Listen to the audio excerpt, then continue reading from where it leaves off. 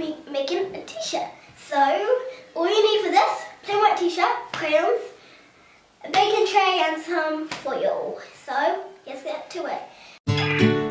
So, let's get started. Yes, he does. Oh, it, it comes right off. I'm just gonna draw plenty of little flowers. And any, like, some of them are gonna be clockwise or anything. Basically, just gonna be in all sorts of shapes.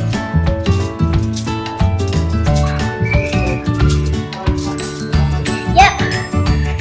Okay, gonna put that aside. And then I'm gonna get some peach now. Peach. Inside. Yep. Does that look? Okay, I think I'm gonna be drawing a red flower with the red petals. So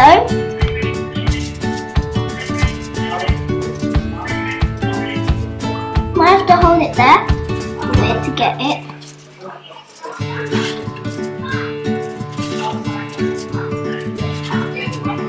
Oh, how does that look, guys? Okay. Oh, don't want to burn yourself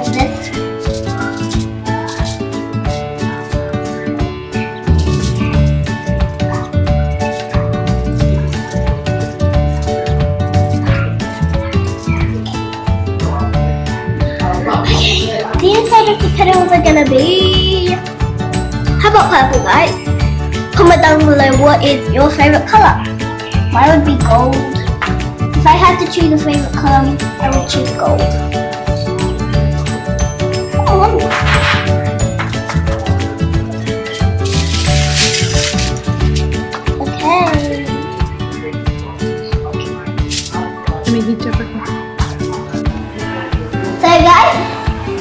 let's get to the petals. Of course, steaming.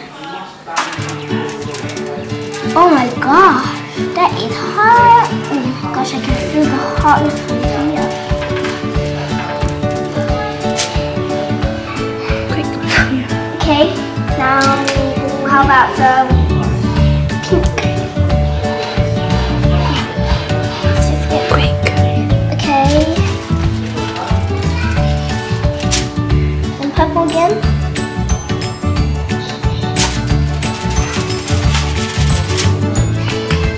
Again.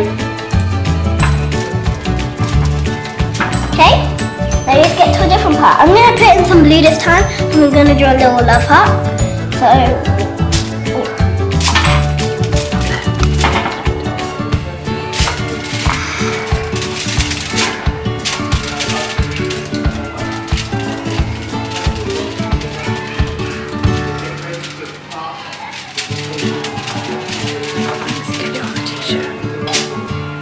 Okay, now I'm just gonna draw one more love heart. This time it's gonna be in a red, obviously.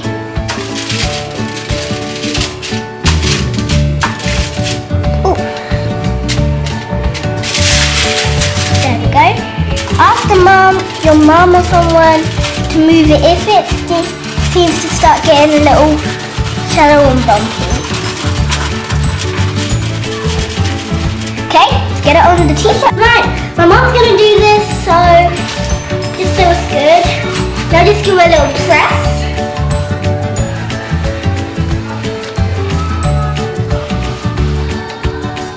Okay, and make sure it's properly pressed down. So this is how we got so far. We just got two, making another one, and it turned out pretty good. So it's a double coloured top. So as you can see, we've got the purple little streak and then the little green streak. But the green hasn't been isn't too strong, but it's okay. So, and if you want to see the back, so this time we're gonna be using grease-proof paper because the last time when we were using foil, yeah, didn't work too well. But on the sleeve, as you remember, we tried grease-proof, and it worked out really well. So here on the back, as you can see, we're going to be doing a little sunflower. So we're just going to wait for the pan to heat up for our sunflower, as you can see. So it did work out quite well with like the heat up of it because the top sort of got a little bit. We heat it up too much. Then it got a little burnt, but we fixed it.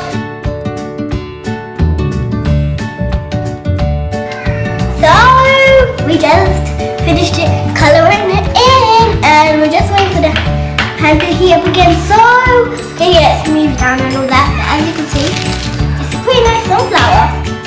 So we just found out our iron is working. And this is how the sunflower turned out. I think it looks kind of cute. And it covers up the burn cover. Then let's check on the other side. Well, we're not the other side. We're just very focused on the sunflower. So, we're going to need a few more pieces of that. Okay, guys. So, we just finished the sunflower. Look how good it turned out. That's the best I've ever seen, but... Are we finished it? Yeah, I think we're finished. So guys, we're finished for today. So I'm just gonna give you a little flashback in case you in case you forgot. So we've just done this, but I think you can see. There's those wiggly lines and some zigzags. Heart, heart, heart, and a flower. Then if you turn around on the um, sunflower we did, look at this. So beautiful. So thanks for watching. Make sure to check out my other videos. Smash that like button, give a big subscribe and comment down below what you want me to do next. But whatever design you want, I love ya. Bye!